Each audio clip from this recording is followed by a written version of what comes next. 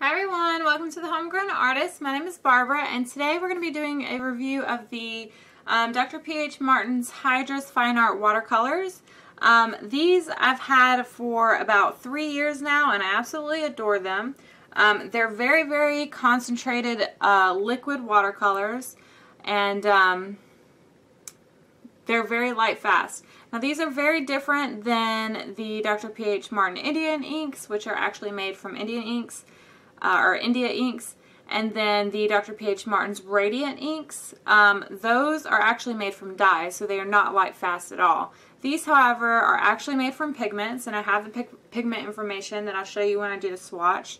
Um, and they are all light fast. All, the, all of the colors in their range are all light fast, either equivalent to the ASTM rating of 1, which is excellent, or 2, which is very good. Um, and if you can see right here, if it'll focus there, it says it conforms to ASTM D. And uh, it also says some stuff about the paint. So it says it's light fast and transparent, brilliant, permanent pigments, Blendable, intermixable, so that means blendable means they blend together very well. Intermixable means that you can mix them with other watercolors. And high density just means that because they are so concentrated, they are very dense and so um, they'll sink down, uh, which also kind of makes them flow a little bit different than normal watercolors. Um, so it depends on what technique you're using, how well they'll, they'll flow. So that's something we'll um, concentrate on on the swatch and stuff in a little bit. Um, so yeah, they are very light fast, if you can see that. And a lot of people think that because they're so opaque looking in the bottle that they're not transparent watercolors, but that's just because they are so, so concentrated that you really do have to water them down to make them pigmented. And I'll show you how using them straight from the tube or close to straight from the tube compared to watered down makes a difference uh, later. So first of all, what we're going to do is we are going to actually do some swatches. Uh, but I want to actually show, tell you that these I didn't get from any sets. They do come in different sets. I think there's three sets now. Um, three sets of 12. Uh, so there's, what, 36 colors in their range, I'm guessing, uh, based on the three sets of 12. Um, and uh, you can get them in one ounce bottles like this. They all come in um, glass bottles with the little eyedropper thing here. Sometimes they're hard to open where you can drop the pigment if you wanted to. And then um, the other size is a half ounce and um, it's uh, 15 milliliters. This one is one ounce and is 30 milliliters. Um, but they all come in glass bottles with the eyedropper. Um, and then in the set, you get like a little circle thing, and it, it kind of acts like a palette. I, however, didn't purchase that. I actually got these when an art store in Mobile was um, getting rid of their stock of these, I guess because they weren't going to hold them anymore.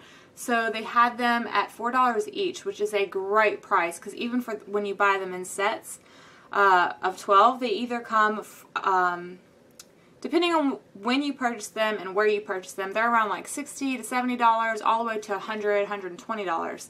So it all depends on when you get them and where you get them.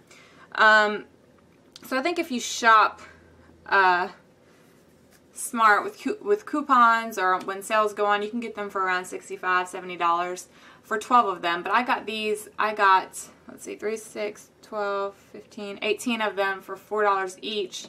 Um, which I can't do math in my head right now. Uh, let's see, 12 times 4 is 48, so already that's cheaper than, um, than buying it in the set. So I got it at a, a pretty good discount, which is great. But I didn't get to pick the colors. I just got one each of every color that they had because I thought it was a really great deal.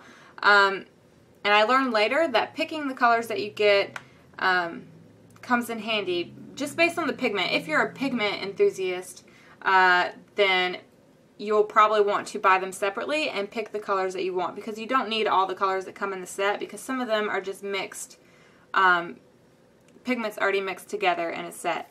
Uh, or in a bottle. So you don't necessarily need that. And we'll cover that a little bit more once we get into the swatching, which we are going to do now. So I'm going to move these aside and try to keep them in order of how I want to swatch them.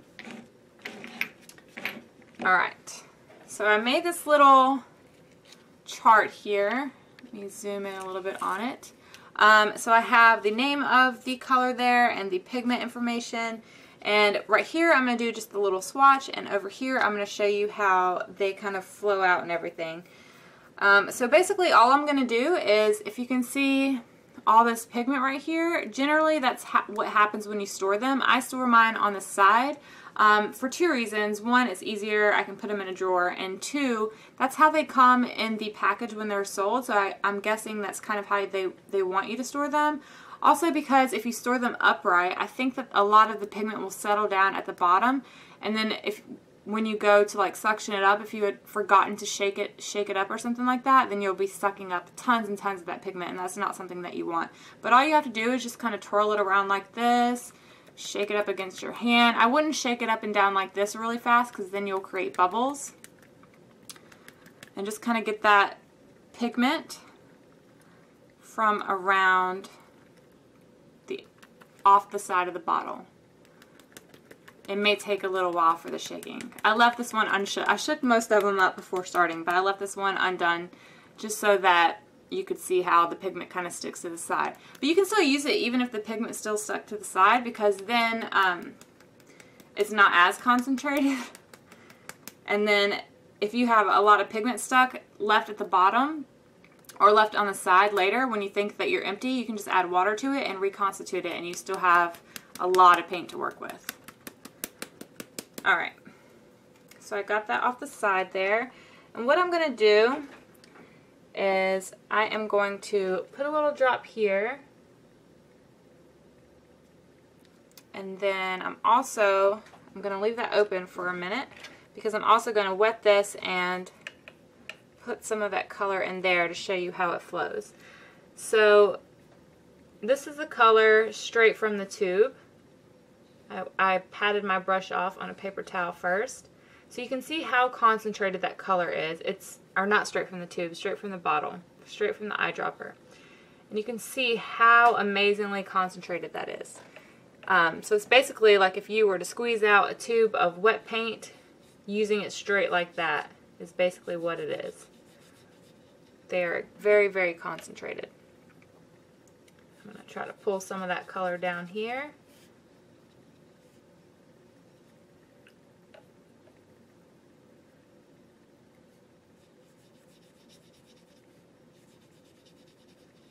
Alright, so that is Hansa Yellow Light, uh, made with PY3, which most Hansa Yellow Lights are made out of.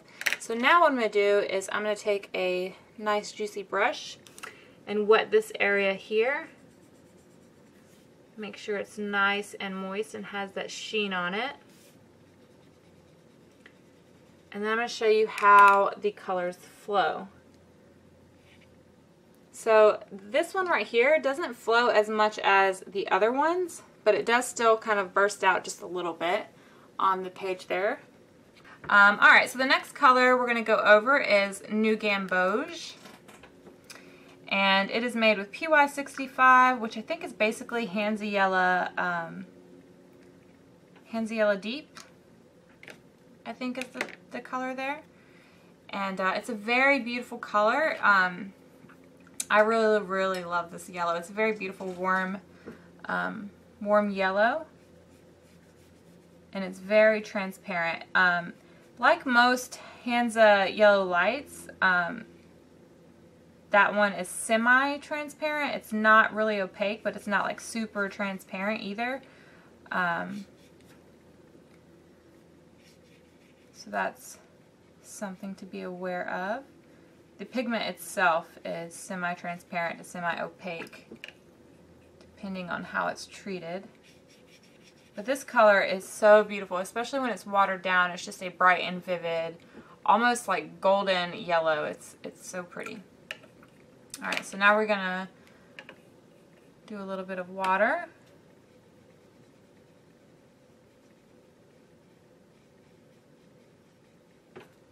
And then drop a little bit of that color in there. You can see how that kind of bursts out and flows. And the thing where it said high density, and this is where it comes into play a little bit. when you drop it, a lot of the pigment is going to fall down really quickly because it is so dense. Um, it's more dense than water, so it's going to drop. But then also, because there's so much pigment, it's also going to like burst out a little bit. And you can see over here how it's flowed, it's flowed across the page more than where I put it. Um, so that's really good for like uh, if you are doing pouring techniques or you just want like a loose kind of watercolor background or something like that. Alright, so the next color is Chrome Yellow, which is also made with PY65, but they, I guess, treated it a little differently. So it's more of an orange color than a yellow color. Um, when you water it down, it kind of looks a little bit more yellow. So I guess this one kind of looks, I mean, it looks like Gamboge, but if you were go, going based on, say, like Daniel Smith watercolors or something like that, then this would be Hansa Yellow Light, Hansa Yellow Medium, and Hansa Yellow Deep. This one's a little bit more orange than Hansa Yellow Deep, though. Which is why I guess they call it chrome yellow. but they are all very, very pigmented.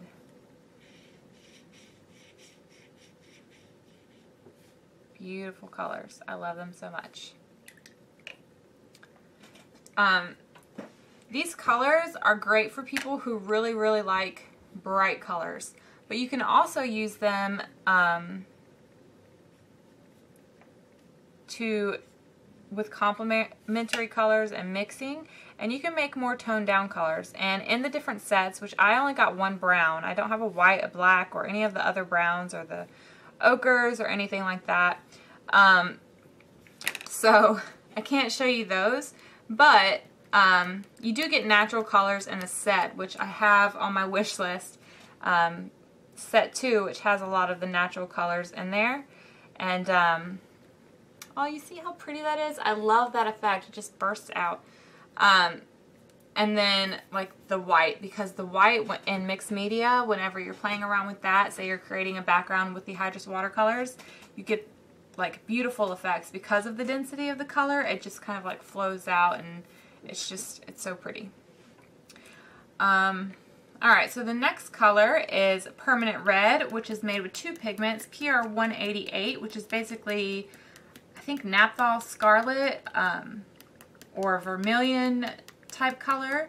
And then PR 70, PR 170, that's a typo there, um, but it's supposed to be PR 170, which is basically Naphthol red. So this was just made to create kind of like a um, uh, orangey red color. And uh, it's a very pretty red. And the, this is a color that whenever I bought it, I noticed that it was kind of chunky inside of the tube. And I'll show you that. If you can see kind of the chunks on the um, dropper. Uh, the thing with that is, is basically a lot of it has dried out a little bit. And so there's little chunks and stuff in there. All you have to do is just wet it and kind of mix it up and it works just fine.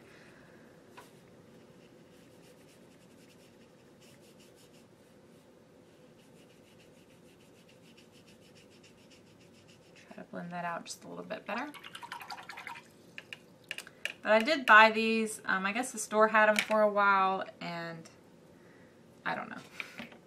Something happened that they, they wanted to get rid of them. But they're wonderful watercolors, so I don't know why. Maybe there was some controversy going on about them or something like that. Oh, I forgot to do the little water test.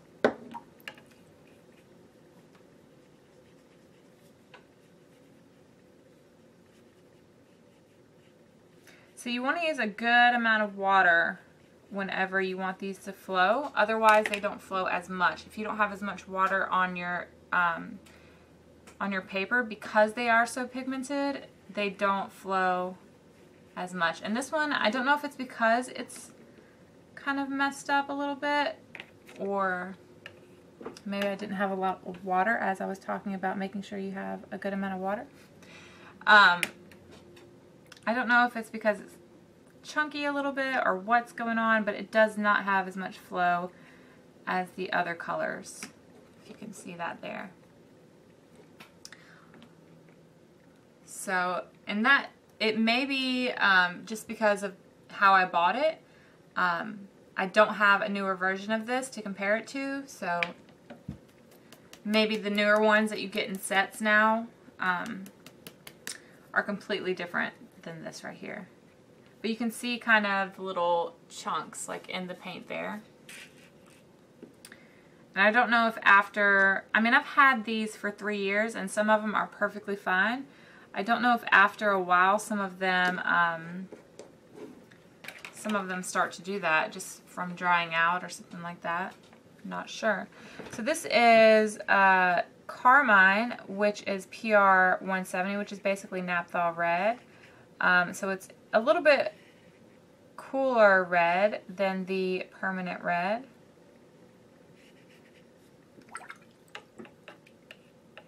So it's kind of, I would say, like a, a neutrally red compared to um, like the pinker colors we're fixing or about to get into. I say fixing a lot and I feel like I sound really country, which I am from the south, so that makes sense.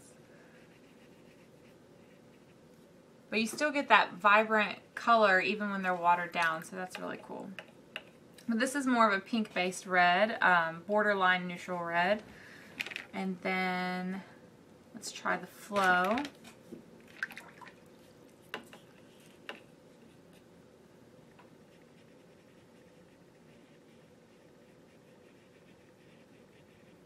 I know this one flows because it's one of my favorite to use when making the colors flow. It just kind of like bursts out. It's so pretty. Alright, so the next color is Deep Red Rose, which is made with PR269, and I could not find any information on handprint.com about what that pigment is, but basically it's like a, um, a purpley red. Um, and then PR170, which would be this carmine. So it's kind of a mixture of, um, of those together. So if you had an option to just buy like the PR 188 to have your warm red and then the PR um, 170 by itself and the PR 269 by itself, which would be the Crimson Lake, which I'll show you later, um, then that I would do that just because you can mix this color and you can mix this color if necessary. But if you're not that worried about pigments and stuff like that and you want them already pre-mixed and stuff, then go ahead and buy all of them if you want them. This is a very purpley, pinky color. Very pretty. It's one of my favorite colors. It's so pretty. It almost looks like Opera Rose um, whenever you water it down some. Like right here in this area, it almost looks like Opera Rose. So if you're a big fan of Opera Rose, but you can't, don't want to use it because it's not light fast, then get this deep red rose. Because it's a very bright and vivid pink.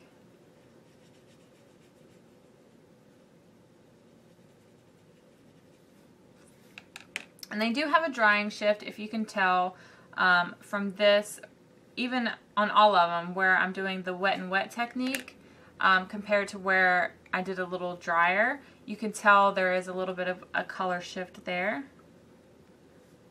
This one's going to, oh, it didn't burst out. Normally it does. We'll have to play around with how the colors burst out. But it still flows out a little bit. And then let's see what happens if we put like a drop of water into that. There we go.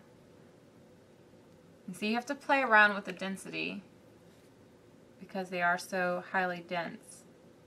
The amount of water that you have affects the flow. Alright, so now we are going on to Crimson Lake, which like I said um, is the same pigment that's in there, PR269, which is a more purpley pinky red. And do the same thing. Pull that down. It's very, very close in hue to the um, deep red rose, but um, more purpley, more pinky. Actually, this one's kind of closer to opera than the other one. Like right here, if you can see that. You probably can't because I'm, I'm off the page there. But it's so bright right here. It's ridiculous. This one, as it dried, lost its intensity. Let's see if that one does. And then we are going to water this area down.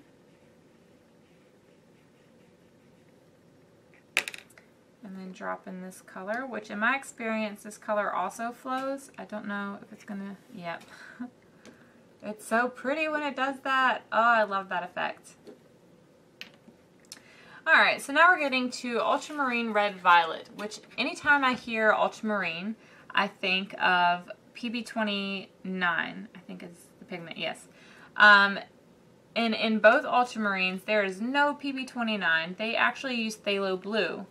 Um, I don't know why I have PY65 here. That is a big, big typo. But ultramarine and their set is PV19 and PB15, which is kind of a weird I mean, it's weirder than Mission Gold's um, ultramarine that has PB19 in it, but it also has PB29, which is the actual pigment for ultramarine. But anyway, we're going to do the color swatches and see how they react. We'll see if it granulates. I don't know if it granulates, how they got it to... I mean, like, I've tested out the granulation and I have seen um, this color granulate a little bit. Not quite as much as other colors, like um, other brands of ultramarine that actually have the PB29 in it. But um, I have seen it granulate. I don't know if that was my imagination because I expected it or what, but this purple. Very pretty. And it does look like an ultramarine um, violet hue.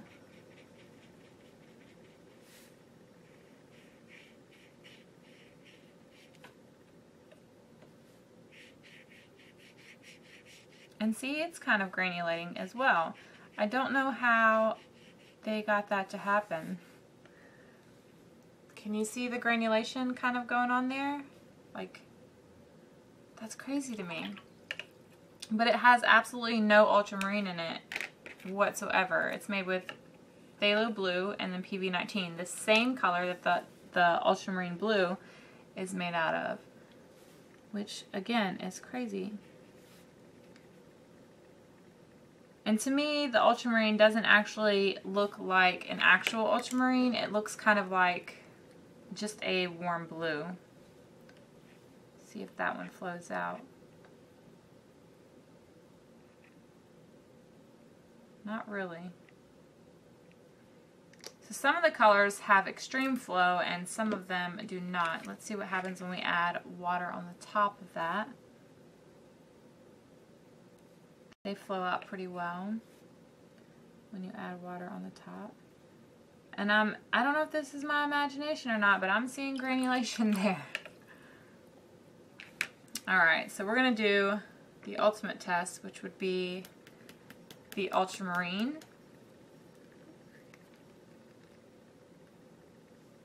Which you can tell, like, from the bottle that it looks kind of phthalo if you can see that there um, but it is a warmer blue than their phthalo blue.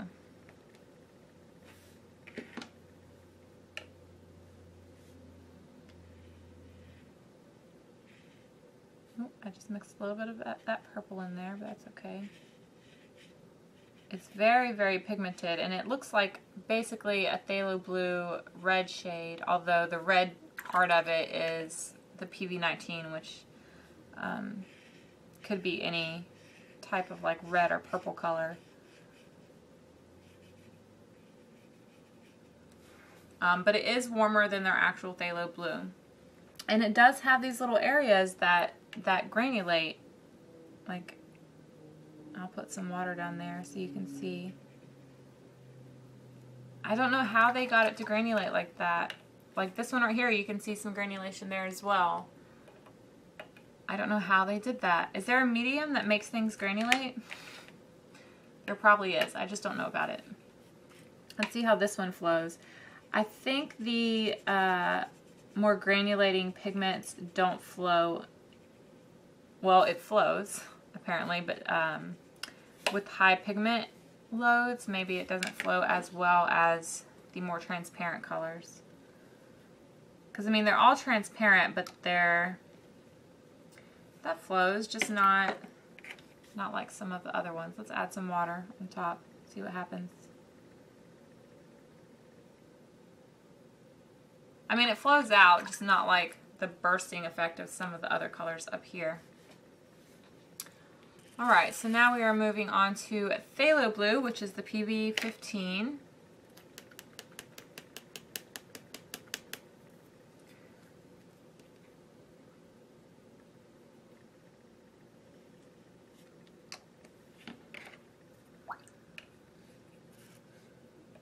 I love phthalo blue. It's a very good mixing color along with phthalo green. So you can see this one is much warmer than the ultramarine that's made with the phthalo blue but has the um, red or red violet color mixed in.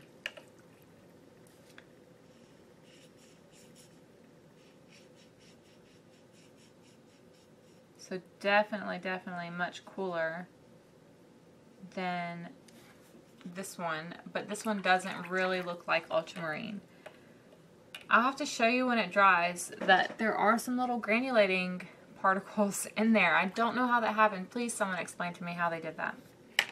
It, it has to be something that you put in your colors to make them granulate. I guess I just, I haven't researched that area enough.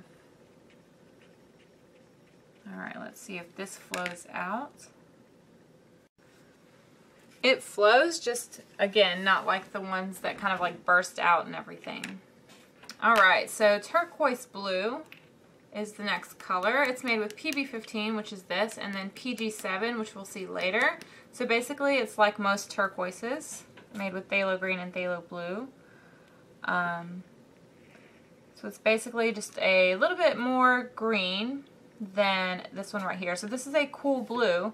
Um, so this one's going to be even cooler in temperature um, because it has that green in it. Oh, it's such a pretty color.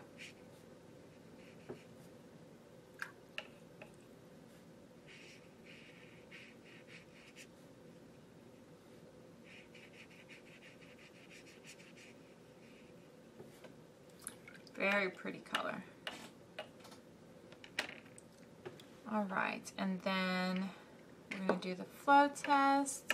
I'm guessing it's gonna flow similar to these. Like, um, as you can see, they're flowing out as time goes on.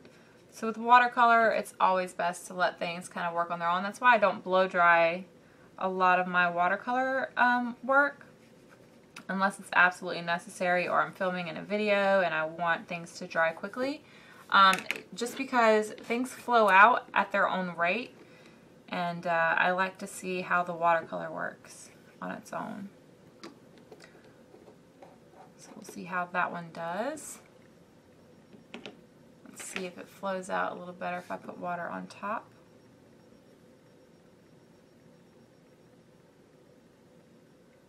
Probably will.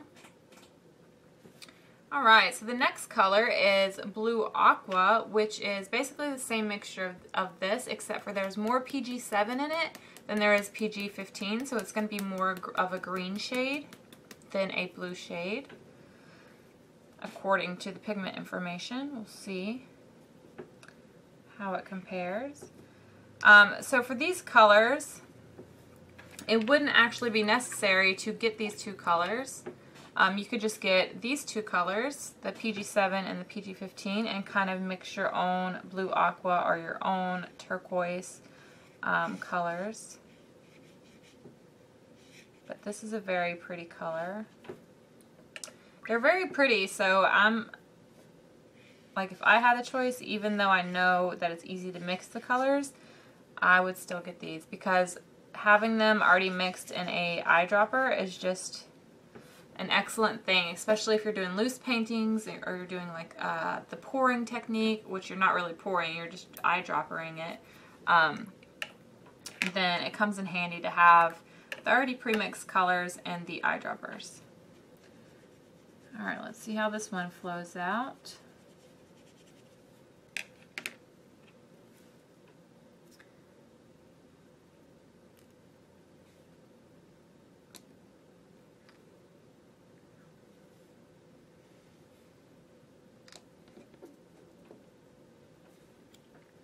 So in different brands, both of these would be considered turquoise. Like in Grumbacher Academy, their tur turquoise looks like this.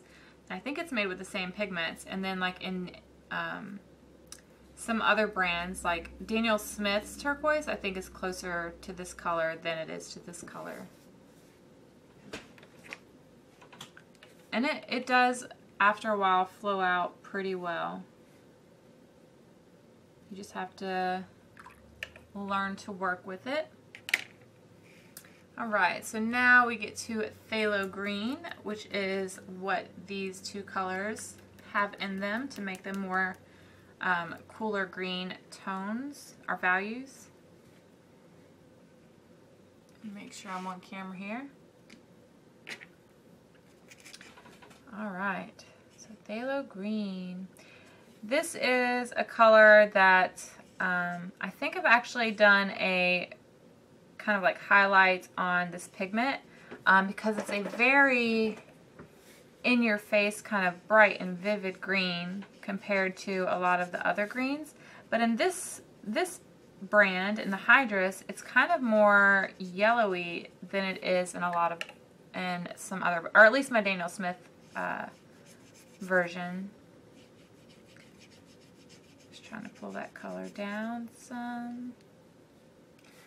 All right, and then let's see how that flows.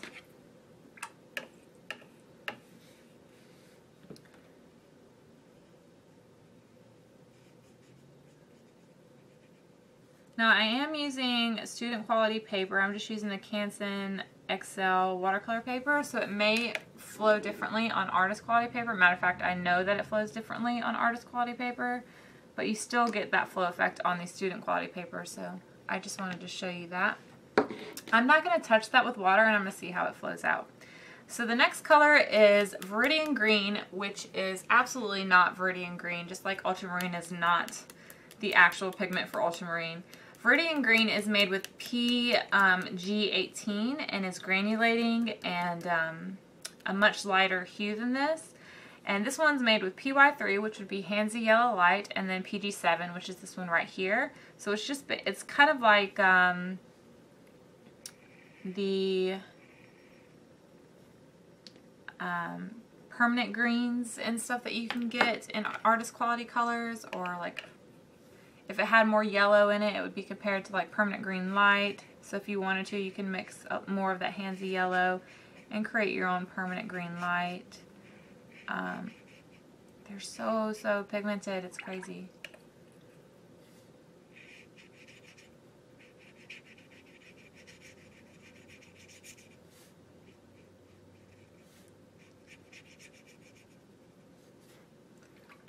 Alright, so you can see how it's very similar to this color, but you can tell there was yellow mixed in. And then we have to do the little flow test there. I wonder how this one's going to flow. I don't use a lot of the greens, these two greens, unless I am toning something down or I'm mixing this green with either more yellow or more blue. So um, I haven't really tested the flow just because I don't use it on its own.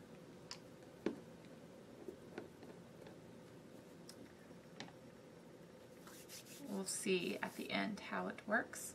And then the last color that I own is Burnt Sienna, which is PBR7. It does not say it on the bottle, but um, you can ask uh, Dr. P.H. Martins to send you a list of the pigments and all of like the raw sienna, burnt sienna type colors, um, burnt umber, raw umber are made with PR7, PBR7 which in my mind is a great thing because I like that's the natural pigment for um, those browns and they're just treated differently.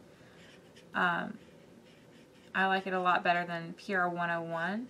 I, I love PR 101. I love the color that they, that you get with the um, like Winsor and Newton burnt sienna where you get that kind of like golden orange type color. But I like this version of burnt sienna a little bit better.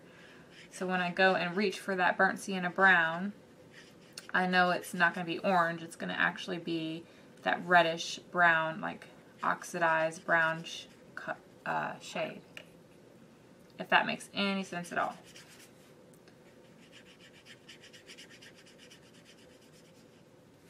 Excuse me. Sorry about that. All right, let's see how that flows. And you can see, let me add a little bit water to this so I can see if it granulates uh, any.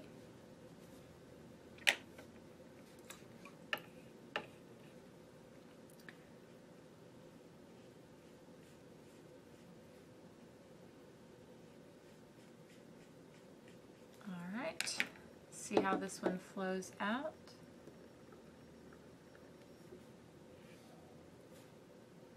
So it has flow. Um, it just doesn't burst out like the reds and a couple of the yellows do. So like the, uh, let me zoom out a little bit. If you look at the, um, maybe zoom out a little bit more.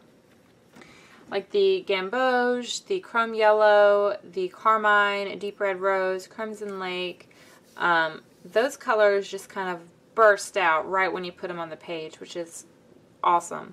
Um, the other ones take a little bit more time to kind of flow out. Uh, but I, I really, really love the ones that kind of like burst out like that. And also, if you can see, they must have added some kind of granulating um, additive because the ultramarine red violet does granulate and uh, the ultramarine blue doesn't granulate as much as the purple. And then the burnt sienna does granulate as well, which that's the pigment granulates itself. Um, but it's weird that the ultramarine red violet doesn't have a granulating pigment in it, but it does kind of granulate a little bit. Hmm.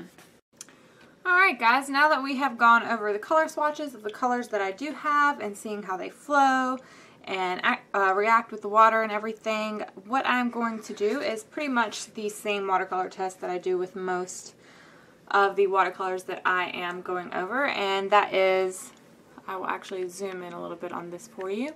So, excuse me, the color blending and everything and this was just me wetting an area of the page and dropping the color in. So I dropped in yellow, um, Hansa Yellow Light, Phthalo Blue, um, the Crimson Lake, which is your closest to magenta color, and then the yellow again, and just let them spread out. The only thing I did with the paintbrush was I took a very juicy paintbrush and just kind of pulled it down with water so you can see some of the lighter versions that you can get with the mixes. And as you can see, they mix beautifully. You can get really dark colors if you want to. Um, you can get them to lighter versions if you want to, and they're just gorgeous.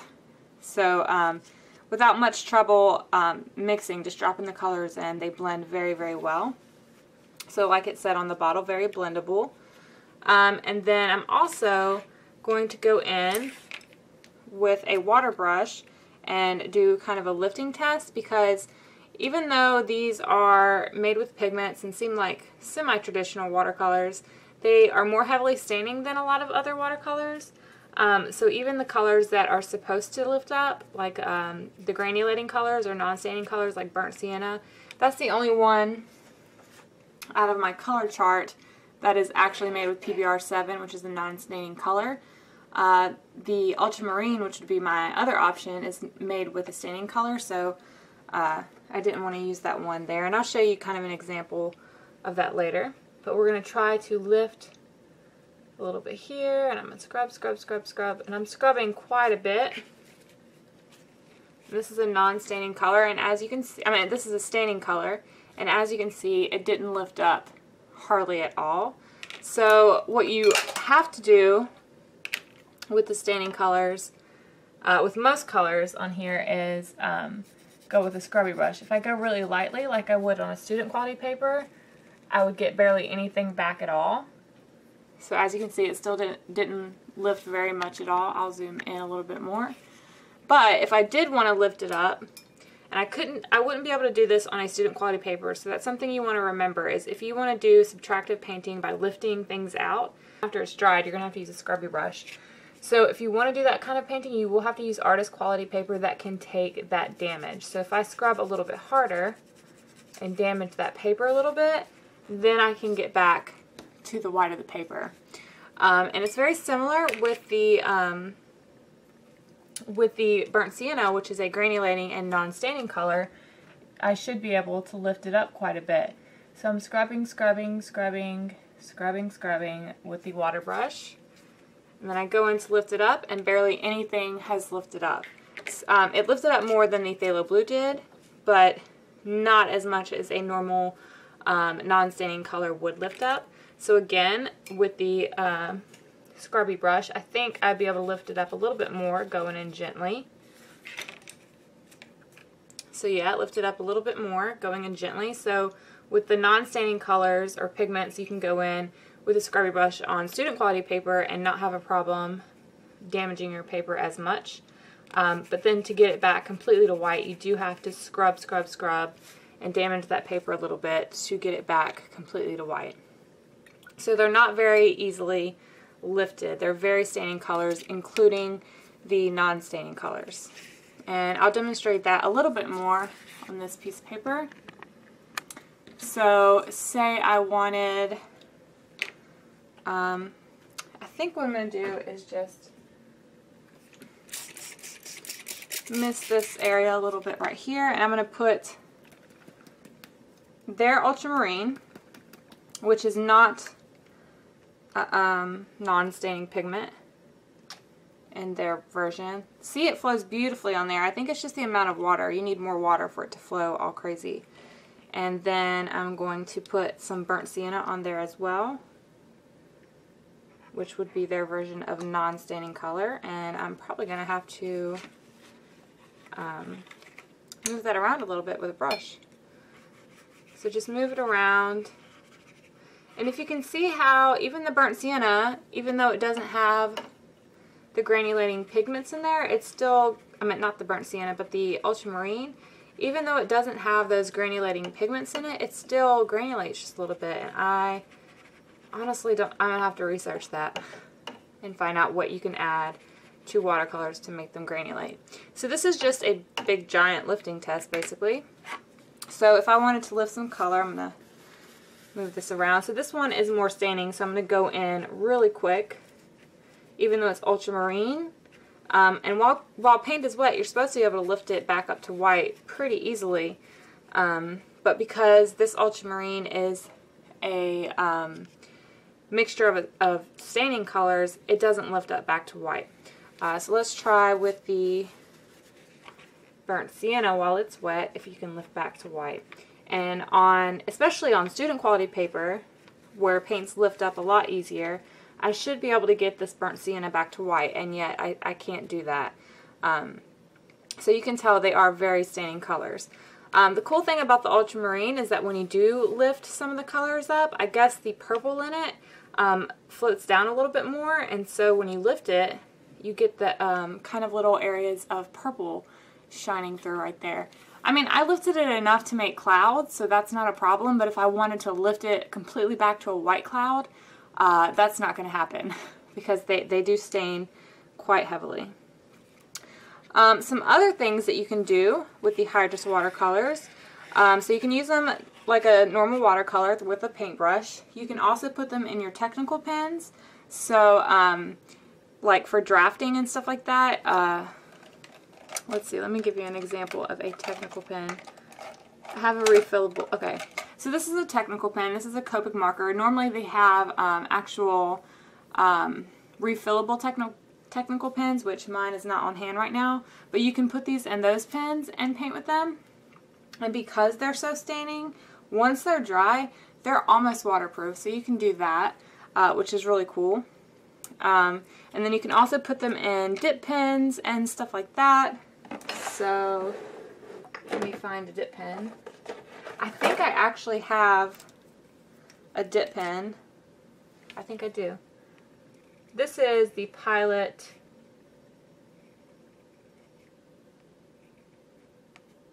It has not been refreshed in a while. But this is the Pilot Parallel pen. Um, it's not really a dip pen. It can be considered a technical pen, but it's a calligraphy pen.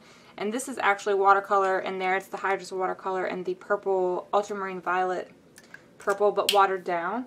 You can also put them in uh, I have no idea where my nib is right now. But you can put them in, sorry, in pens like this, the little nibs, the calligraphy nibs, and dip into this, or you can put it in a well and mix it to the consist consistency that you want and do calligraphy with the pens. Um, you can also use a water brush like this, and I'm just going to use the ultramarine just because it is, or actually I'll use this palette real quick. Just use this red. So you can take whatever concentration you want, but when you're using brush pens that have water in them, basically what you're going to get is a highly concentrated color when you start off and it's going to fade as you go. But you can also mix these up, like buy a bunch of these kind of pens, um, and then mix your color up at whatever consistency, whatever um, value that you want in your barrel, and then do brush calligraphy with them, or brush lettering. And I'm horrible at it, especially with the with these brush pens. I've been practicing with um, the Tombow markers and then the, I can't remember what they're called. I'll show you.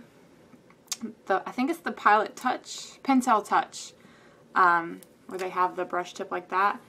Uh, so I'm used to that. I'm not used to a brush pen, but I figured I'd try it on here because a lot of people like to fill their barrels with watercolor.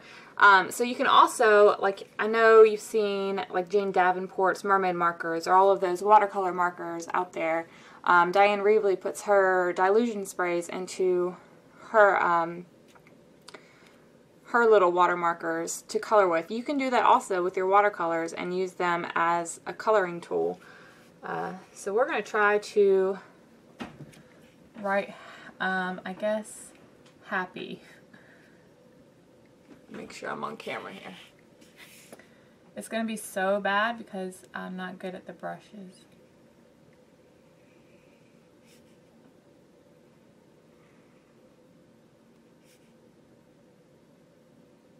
Ooh, it's hard to get that fine point. People who can use these brush pens to do this lettering are amazing. Because it takes a lot of control.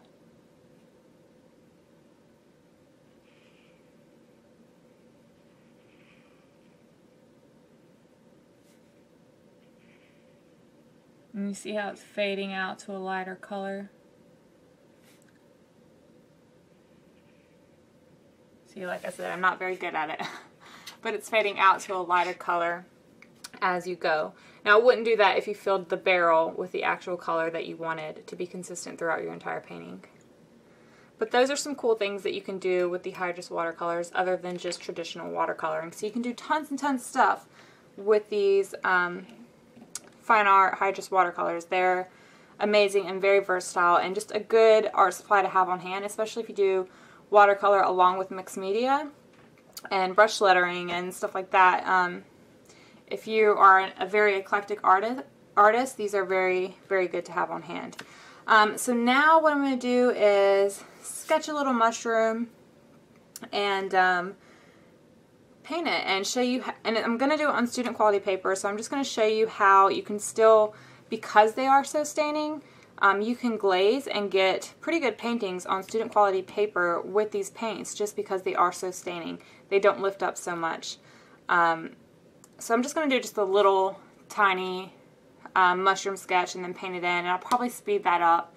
Uh, and then afterwards come back and talk about everything that we've discussed and yeah. So I'll be right back with that.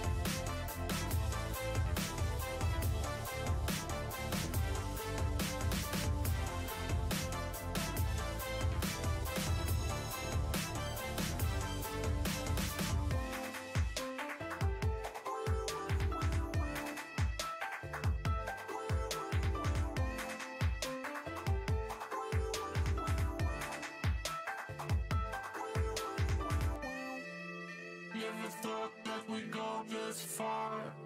Don't stop now. I'm reaching for a distant star. Don't stop now. Isn't it strange how we're safe and home? That I counting days until the second go. If you're gonna make a change, you have to let me know. Turn this shit around, start at top the youngs. Is all you need to do.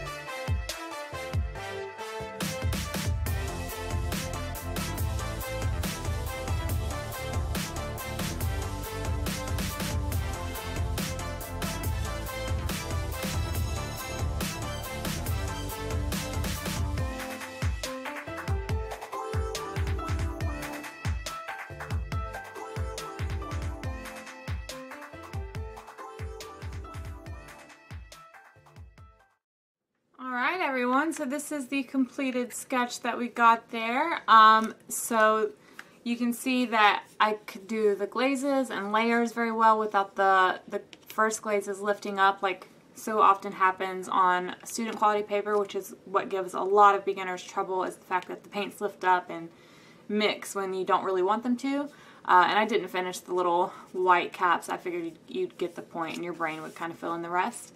Um, but you can mix, not only can you do that, you can um, glaze and stuff on cheaper paper, but also um, you can tone down the colors and get very earthy colors. I didn't have any tubes of very earthy colors except for that burnt sienna, um, but by mixing colors and mixing complements and stuff, you can see I got some pretty toned down colors. Um, and you can practice with that and they're very good for practicing your mixing and everything um, because you really only need a little bit of the watercolor, the liquid watercolor, um, to mix around with. Um, and it's a little, it is a little bit harder mixing with these. That's why they're so great at for practicing because once you learn to mix with these, you'll know how to mix with pretty much every other watercolor. Um, just you'll understand it a little bit better because you've worked so hard learning with these watercolors. Or at least that's that's my opinion because I feel like they are a little bit harder to mix with um, because they are so pigmented and concentrated and you have to make sure your values are right and stuff like that. Um, but it's cool that you can take those bright, bright colors and uh, mix these more toned down colors and make a more earthy painting. So they're not just for people who like those bright, bright colors, they're also for people who like the toned down earthy colors as well. So you can do a lot of stuff with these watercolor paints. So overall, I get they are top notch in my opinion. They're all light fast. Other than the fact that the ultramarine colors, the two ultramarine colors, don't actually have ultramarine. Um, the rest of the colors are pretty good. I wish they did have an original ultramarine. I don't know why they don't. Um, but uh, yeah, I wish they did. But it still works, the, the hue still works. But if you want to have actual effects with like the granulating ultramarine, although it does still granulate, if you can see that. Not as much as the burnt sienna because that's the pigment granulating naturally, um, but it does still have that those granulating effects, just like the ultramarine red violet, which again, I don't understand, so I'm to have to look that up.